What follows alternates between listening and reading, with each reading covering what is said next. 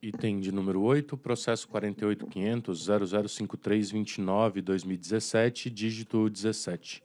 Proposta de abertura de audiência pública com vistas a colher subsídios e informações adicionais para a revisão do custo médio ponderado de capital regulatório do segmento de distribuição referente ao módulo 2.4 dos procedimentos de regulação tarifária PRORET.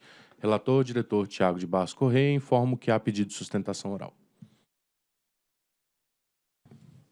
De acordo com o submódulo 2.4 do PRORET, a estrutura de capital, o custo de capital próprio, o custo de capital de terceiros e o custo médio ponderado de capital e a remuneração dos recursos da RGR serão recalculados para aplicação entre janeiro de 18 e dezembro de 2020.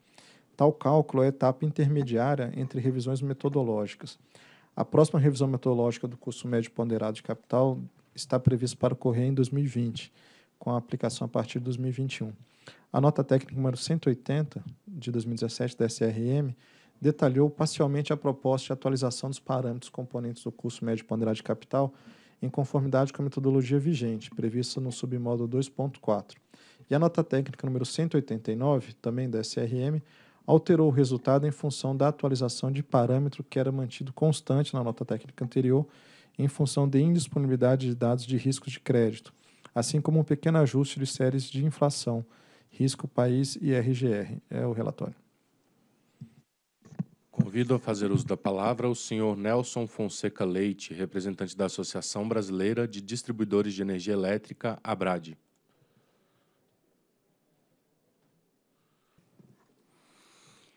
Bom dia a todos. Eu queria inicialmente cumprimentar a diretoria da ANEL, doutor Romeu, doutor Tiago, doutor André, doutor Reive, o Marcelo Escalante e o Guilherme. E bom, é, todo até não é comum se fazer sustentação oral em ato de abertura de processo de audiência pública, mas esse tema do custo médio ponderado de capital um tema vital para as distribuidoras. E todo o processo ele tem que ser pautado por, dois, por três é, pilares, que é a transparência, a previsibilidade e a razoabilidade. A transparência se nota em todo o processo de divulgação de notas técnicas e, e discussão e, e a própria abertura de audiência pública traz essa, essa transparência.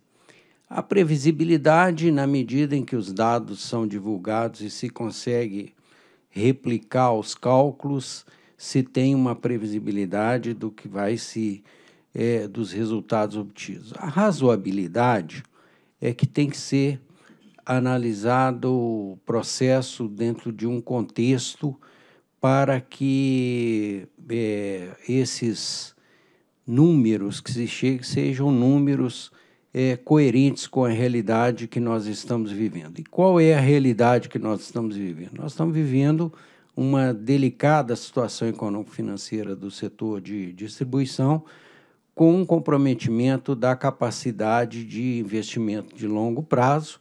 Nós tivemos aí dois anos consecutivos, aqui são dados é, comparados do EBITDA das distribuidoras na coluna nas colunas alaranjadas o EBITDA de 2014 e nas colunas é, cinza os, o EBITDA de 2016. E nós podemos ver nesse gráfico que nós tivemos aí 70% das distribuidoras tiveram queda real do EBITDA entre 2014 e 2016. Foram dois anos consecutivos de redução do EBITDA do segmento, fazendo uma queda nominal de 26%. Esse gráfico ele mostra essa queda de 26% aí é, nos anos de, do ano de 2014 para o ano de 2016, quer dizer, o EBITDA de 2014, que era 15 bilhões de reais, ele caiu para 11,1 bilhões em 2016, Alguém pode falar, mas isso é muito, é, é muito dinheiro. Mas realmente, considerando a receita do setor, e isso é bom a gente frisar que a margem de EBITDA é de 15%, quer dizer, a menor margem comparado com outros segmentos de infraestrutura. E aí nós comparamos com o EBITDA de outros segmentos de infraestrutura. Nesse mesmo período, o segmento de transmissão, que tem uma margem de 90%, ele teve uma, um incremento de 22%. O segmento de gás canalizado teve um incremento de 26%. E o segmento de água e esgoto teve um incremento de, de 17%.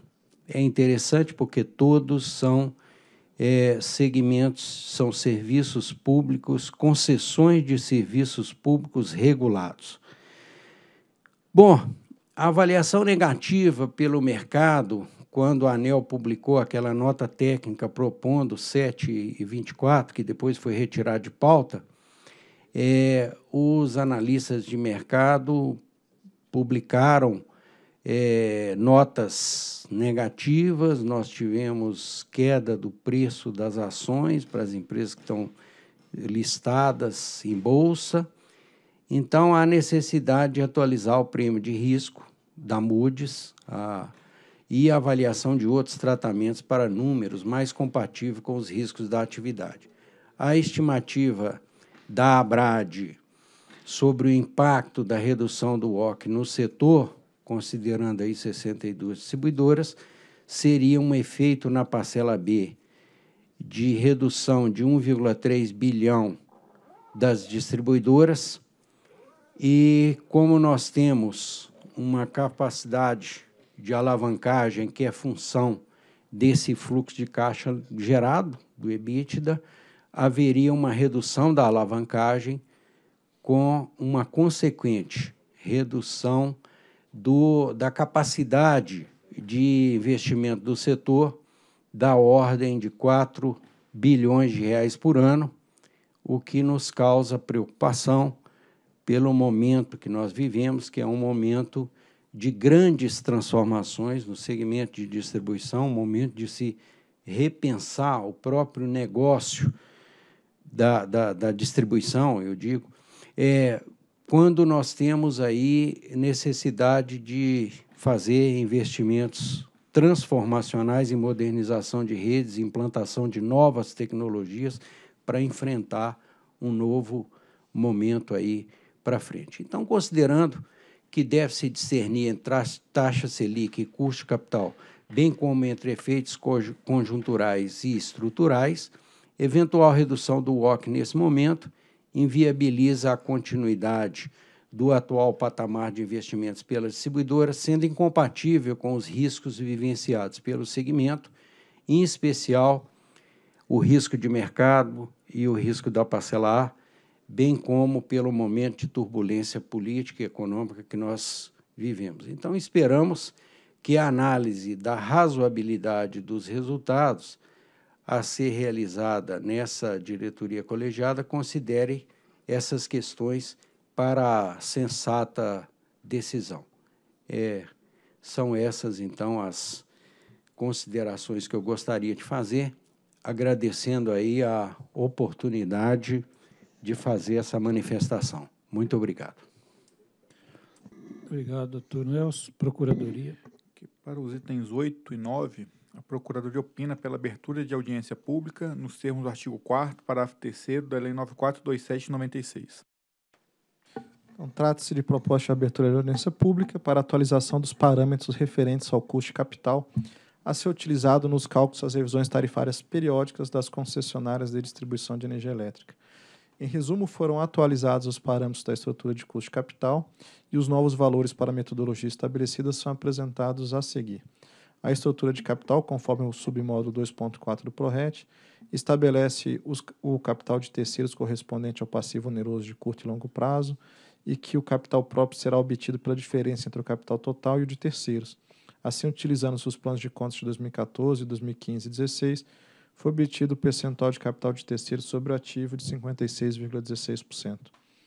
Em relação ao custo capital próprio, adota-se o método de risco retorno, CAPM, que é o Capital Asset Price Model, para, se de, para sua determinação. E dentre os parâmetros utilizados, considerou-se a taxa livre de risco como rendimento anual do bônus do governo dos Estados Unidos, com vencimento de 10 anos, que deu 4,94% ao ano, equivalente à média aritmética do período, de 1 de outubro de 1987 a 29 de setembro de 2017, a taxa de retorno do mercado calculada a partir da média do rendimento anual histórico do índice Standard Poor's 500, com reinvestimentos de dividendos, o beta do setor elétrico, conforme determinado no submódulo 2.4, e excluídas quatro empresas em função da descontinuidade dos dados, cujo valor obtido para o caso brasileiro equivaleu a, a 0,7258.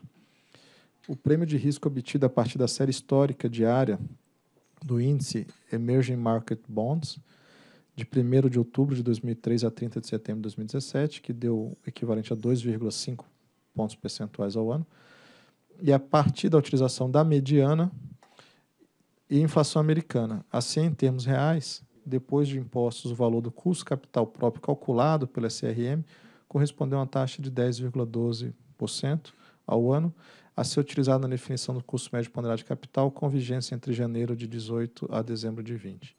A tabela 1 traz aqui os elementos agregados de cada um desses componentes.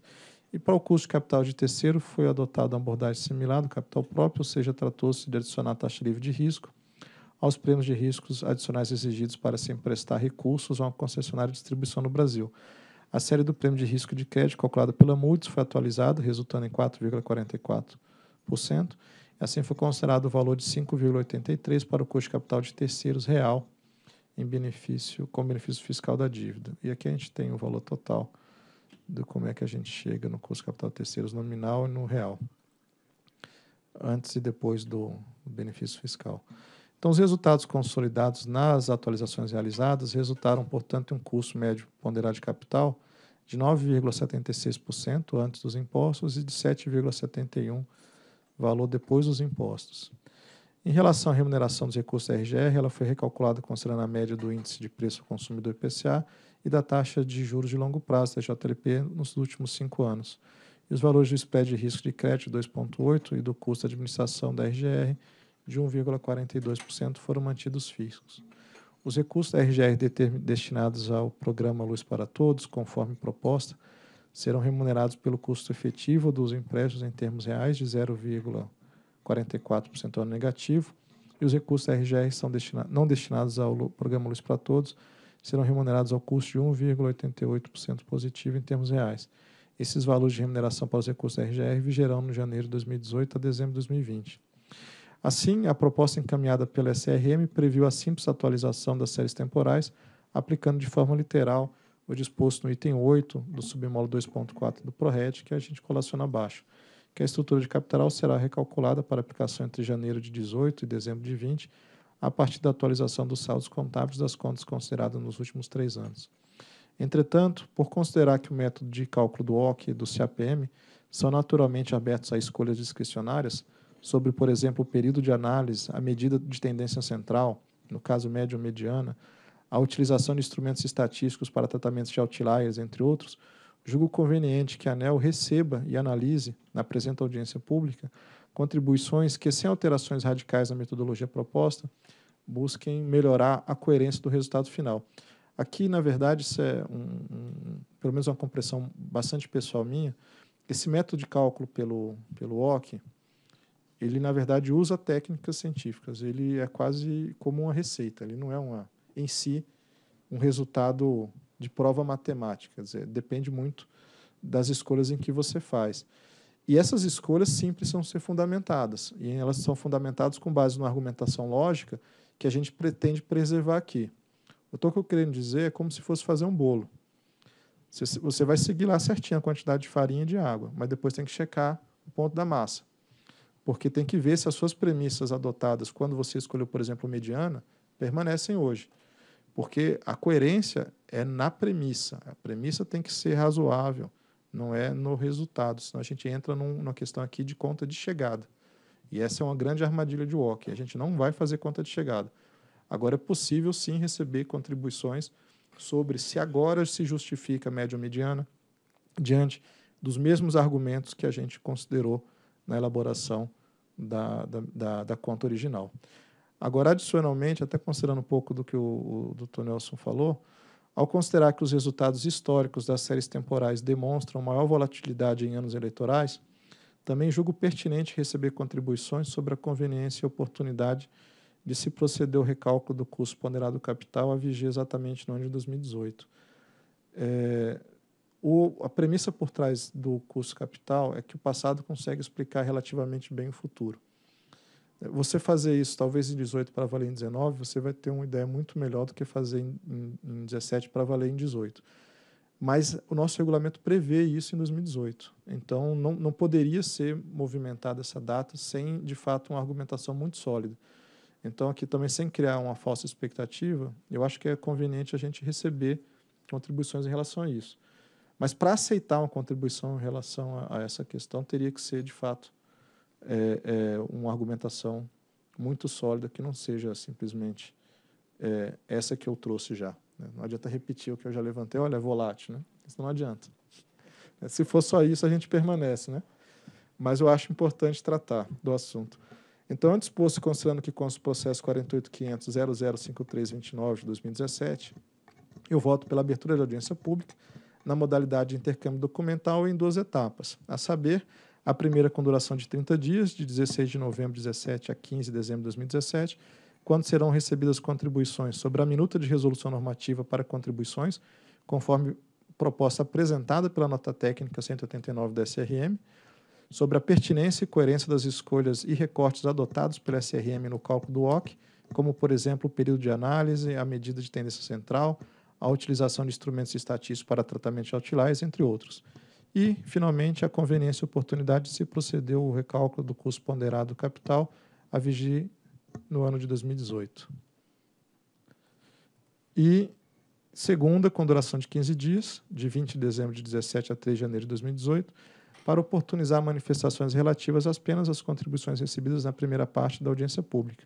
Nessa etapa, os interessados não mais poderão contribuir à proposta da ANEL, oportunidade conferida na primeira parte da audiência mas terão a oportunidade de se manifestar formalmente em relação às contribuições recebidas na primeira etapa. Nessa audiência pública, por se tratar, de certa maneira, de um método que abre muito espaço para discricionalidade, as duas etapas são bastante convenientes. Eu voto. Em discussão. Ô, senhores diretores, primeiro quero me associar às palavras bem colocadas pelo relator, porque a metodologia já está posta, a gente vai apenas atualizar. Então, gostei muito do paralelismo que você fez com a massa de bolo. Ou seja, não, não estamos no momento para discutir a, a metodologia. E isso até não traz segurança para o setor. Então, vamos nos deter lá na, nos parâmetros. Eu acho que a audiência pública também parabenizar a área SRM, que vem a, adotando essa maneira de audiência pública, sempre duas etapas, uma para contribuições e uma outra para fazer contribuições das contribuições. Tem se mostrado efetiva né, e tem agregado bastante valor ao nosso processo regulatório. Eu também tenho duas considerações. A primeira, Tiago, é com relação à própria audiência. E, dado a importância, a relevância desse assunto para o segmento é, e até a, o nível de contribuição que a gente sabe que pode ser aportada, talvez aqui justificasse uma sessão presencial. Hein? A minha sugestão é que fosse feita a sessão presencial na primeira etapa, né? Claro, na segunda não. Pode ser. É. Você Só precisa ver depois data já. a Eu, data. eu seleciono a data e coloco na primeira etapa. Na primeira etapa. Né? Vamos olhar com calma que a gente está com a agenda bem apertada esse final de ano. Né? É. Vamos consultar direitinho né, SMA para avaliar uma data. É, pode ser avaliada aí no, no curso da reunião, a gente é, né, dá, dá então publicidade aí, a, a data que será feita a sessão presencial da audiência pública. Se estiver Tá. aqui no Então, curso é- da discussão, melhor ainda. Então, esse, é, Júlio, você articula com a SR durante a audiência, durante a reunião, e no final a gente diz a data.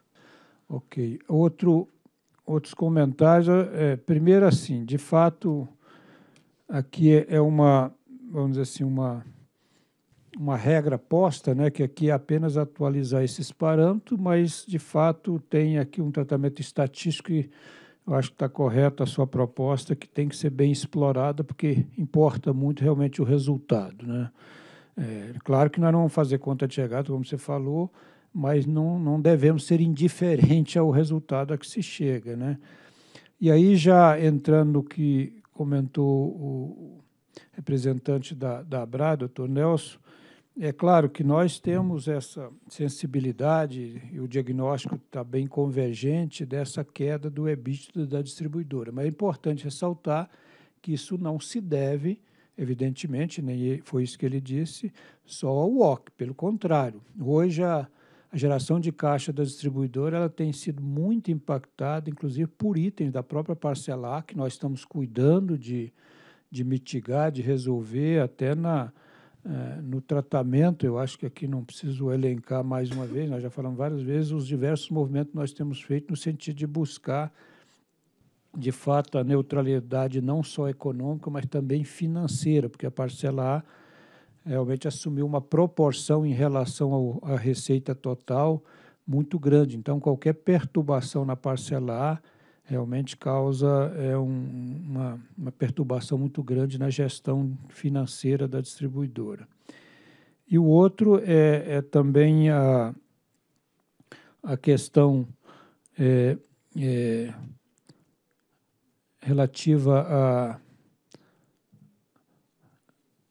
a aqui o hein? É, não, a questão que é o, o que que você colocou. Eu acho que esse, eh, eh, Tiago, eu concordo com você. Eu acho que aqui teria que ter uma motivação muito contundente, digamos assim, para justificar não fazer, porque isso também está na regra, né, uma previsibilidade na linha.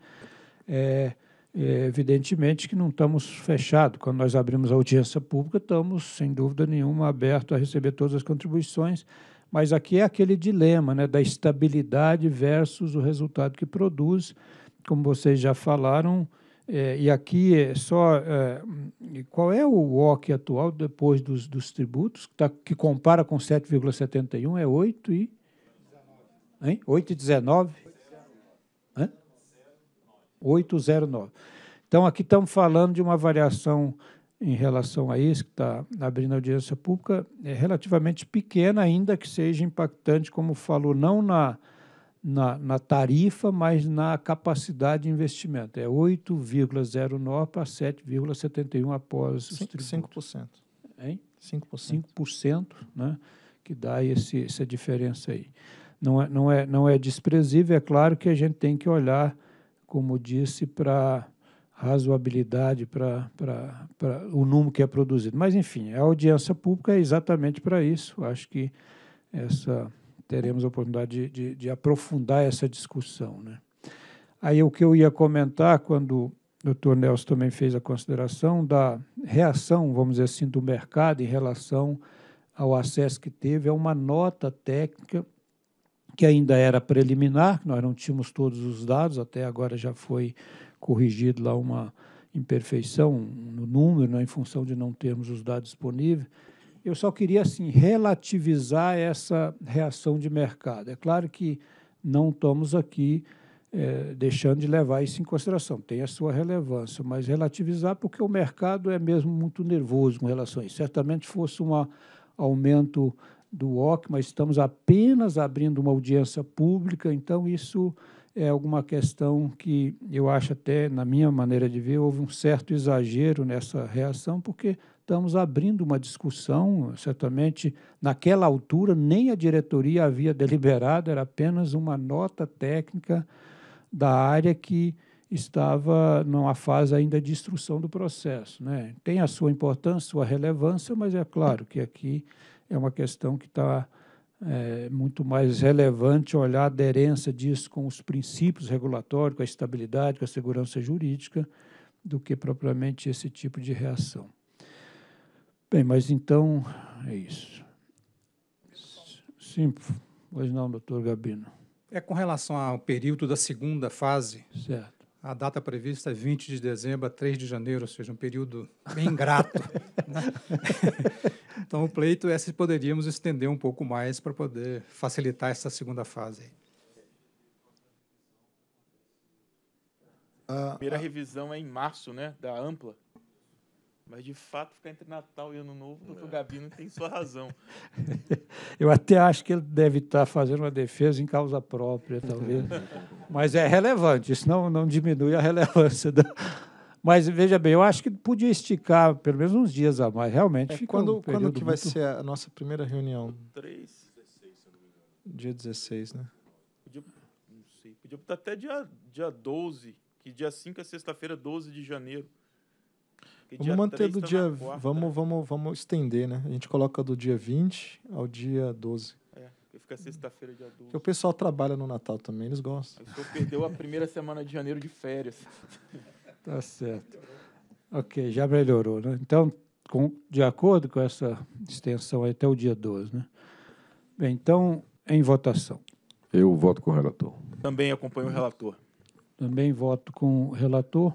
Proclamo que a diretoria decidiu, então, pela abertura de audiência pública na modalidade de intercâmbio documental, mas também com a sessão presencial, em data a ser divulgada no curso dessa reunião, em duas etapas a saber. A primeira, com duração de 30 dias, compreendida, então, entre os dias 16 de novembro a 15 de dezembro de 2017, sessão presencial nesse intervalo que será definida, quando serão recebidas eh, contribuições sobre a minuta de resolução normativa para contribuições, conforme proposta apresentada pela nota técnica 180-2017 SRM ANEL, eh, a e também sobre a pertinência e, e coerência das escolhas e recortes adotados pela SRM no cálculo do OC, como, por exemplo, o período de análise, a medida de tendência central, a utilização de instrumentos estatísticos para tratamento de outline, entre outros. E também a conveniência e oportunidade de se proceder o recálculo do custo ponderado de capital a vigorar exatamente no ano de 2018. A segunda etapa com duração, então, aí ficou quantos dias? 24? 24 dias, no período, o que importa é o período de 20 de dezembro a 12 de janeiro de 2018, para a oportunidade de manifestações relativas apenas às contribuições recebidas na primeira parte da P. Nessa segunda etapa, as- os interessados não mais poderão contribuir à proposta da ANEL, oportunidade já vencida na primeira etapa, mas terão oportunidade de se manifestar formalmente em relação às contribuições recebidas na primeira etapa. Próximo item.